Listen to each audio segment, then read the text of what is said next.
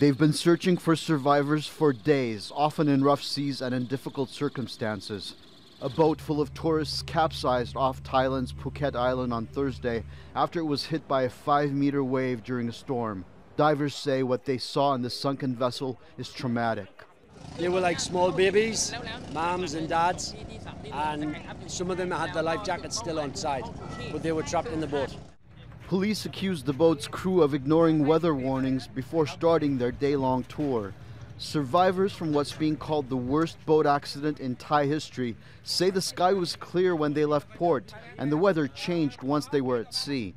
The wind and rain were so strong and everybody was so scared to death. The rain was coming from everywhere in the cabin and it was very fierce. Most of the 105 people on board were Chinese. A third of the 35 million tourists who visit Thailand annually are from China.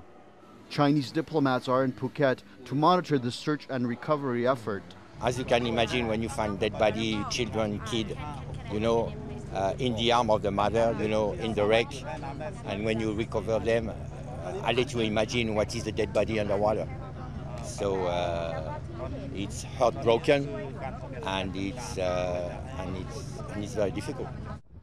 Phuket's governor says at least 10 boats were stranded at the same time. A second boat carrying 39 mostly European tourists also capsized. All those on board were rescued.